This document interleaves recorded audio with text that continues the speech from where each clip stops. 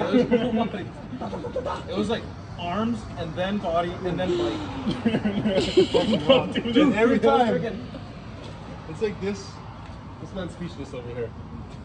He's that was the wildest. That was the wildest thing I ever seen in my fucking life. And I've seen some wild things.